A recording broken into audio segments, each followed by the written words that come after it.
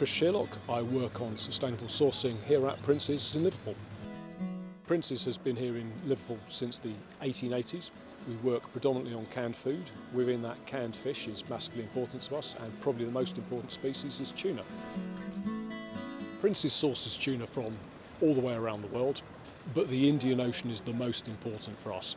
We've got two large tuna processing sites on the island of Mauritius where we employ about 4,000 people. Sustainability in the Indian Ocean is therefore critical. We know full well that if we don't have sustainable stocks of tuna in the Indian Ocean, it will be difficult to operate those factories. So this is understood right up to board level in Princes that this is a business critical, business continuity issue. The reason I got into sustainability is I'm, I'm, an environment nerd. I've been interested in the environment since I was five, six years old. I used to watch David Attenborough in the 1980s. I went to university to study environmental management in the early 90s and I've been working on food sustainability really since the mid 2000s. So it's, it's what I'm interested in and I'm lucky enough to have a job in it. Princes has recently announced that it's planning to get all of its branded tuna here in the UK from MSC certified sources by 2025. This is actually the culmination of more than a decade's work. So it starts with Greenpeace actually having a protest against Princes here at our head office in Liverpool. We then work with our supply chain, the boats that are supplying us, particularly to our factories in Mauritius. We worked with our competitors, we entered into fishery improvement projects, and over the course of the decade, we've improved these, and we now have a pipeline of MSC certified tuna.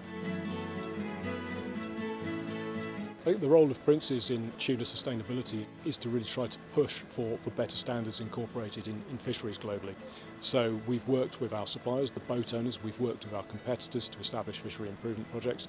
We regularly call on the regional fishery management organisations to establish harvest strategies, harvest control rules.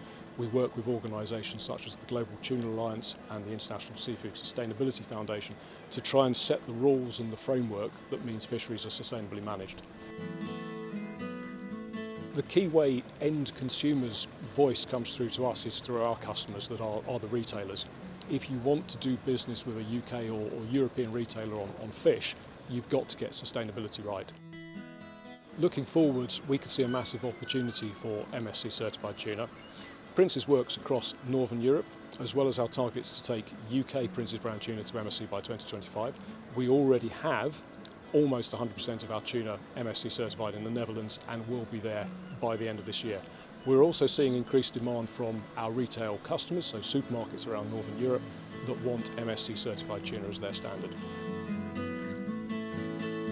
Despite the cost of living crisis, we see absolutely no let up in demand for fish sustainability. I think for Princes, what we want to do is, is make sustainable affordable. And I think what I'd reflect on is, is tuna is actually a very well priced, good value source of protein that we want to source sustainably as well. There are two reasons why we see the MSC standard as our end goal for sustainable fish. The first one is the assessment of a fishery follows a, a robust, independent, clear scientific assessment. The second reason is because fish sustainability is a, a, crucial issue for end consumers, but they want this to be something that, that translates simply, easily, effectively. MSC is increasingly seen as the mark that they want, the standard that they want, and makes sustainability easy. Princes is the, the largest brand of its type to set a target for 100% MSC certified tuna in the, in the UK. We are out in front of our competitors in establishing this target. And what you don't necessarily see is the work that goes on behind that. So Princes has been working on this for over a decade with its suppliers. I think this is something we also discussed on a commercial basis for over 18 months, maybe two years before we actually made an announcement. So, so getting to this point where you get a big project like that over the line is, is, is something that I get a buzz out of. What's your favourite tuna dish? My favourite tuna dish, um, I'd just say standard uh, tuna mayo sandwich. Can't beat it. Sorry to be boring. With cheese? No, no, definitely no cheese.